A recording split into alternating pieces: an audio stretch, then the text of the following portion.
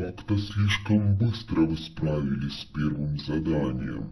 Теперь найдите в книге с меткой загадку, отгадайте ее и введите ответ.